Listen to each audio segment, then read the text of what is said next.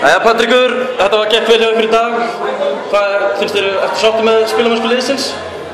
Já, þetta er alltaf eitthvað sem maður, er ekki ánægð með en svona í heildina þá er maður alltaf ánægð með sigur og útísigur á móti flokkari liðið afturöldingar. Þeir eru hérna vel mannaðir og, og, og þetta er gott lið svo að, svo að við erum ánægð. Sérstaklega var ég ánægð með 31 völdinni hjá okkur og markvistuna svona þegar liðið tók á leikinn var okkur búin náttúrulega markinu en En sóknarleikurinn og köflum og nýtingu böðafæra og, og það er eitthvað sem við þurfum bara áfram. Við þurfum náttúrulega bara að vinna stanslust. Við erum með nýtt lið og marga unga stráka sem, að, sem bara höfum vinna framönda. Já. Um, sex marka sigur og þeir, þeir haldið afturöldingu 20 mörgum.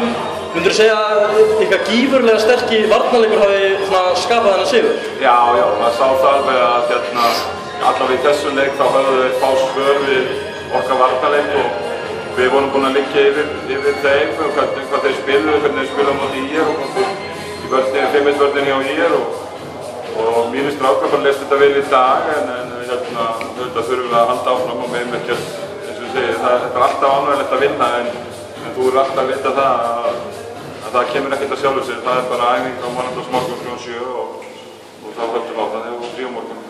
Já.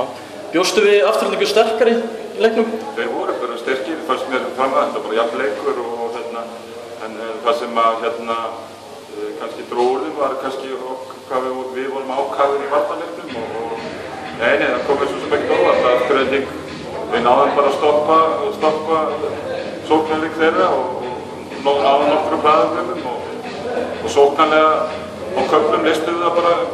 Já. Nú erum við komið ykkar fyrstu stíg í deildinni og næsti leikur gegn fram á heimavalli á 50 daginn. Reykjavík-slagurinn, hvað ætlar þið að leggja, leggja helst áherslu á gegn þeim?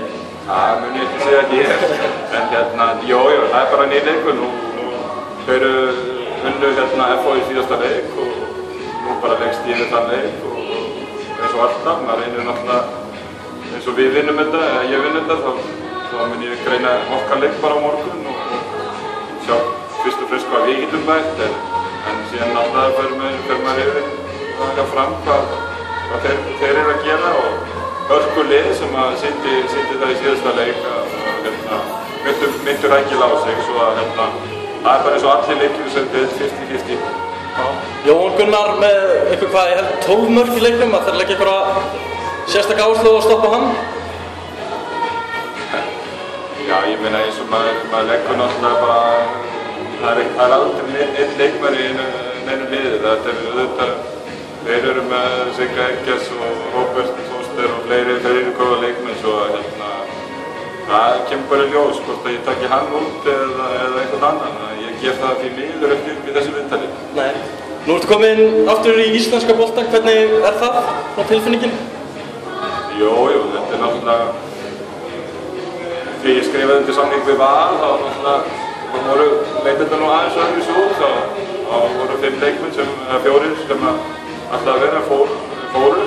Og við vorum fannir sér búin að landa tveimur leikmennum en þegar gekk það ekki eftir svo að, svo að verkefni breytti svolítið bara á tveimur málum og ég, ég þannig sér bara í að búa til viðhverjum frá grunni og, og það er eitthvað sem að tekur verulega á og en, en, en svona moment eða svona eins og í dag þegar maður sér strák þriðjaflokkin til dæmis kom inn á Gunnar Markvist og spila eins og eins og herfóring í völdinni þá, er það ánægilegt en jújú, jú, þetta er töff vinna og ég, ég krest mikið svo sjálfur í handbóltavinna og, og líka mínu leikmennum svo að handbólti handbólti sem er inn í Östuríki, Þísklandi, Íslandi, þetta er alltaf skemmtilegt